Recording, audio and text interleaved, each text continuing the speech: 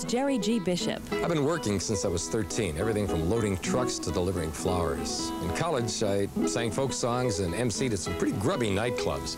That got me into radio. I DJ'd and even traveled with the Beatles for a while. And then television, first in Cleveland, then in Chicago, now here in San Diego. The experience in the show business part of my life has been invaluable, of course.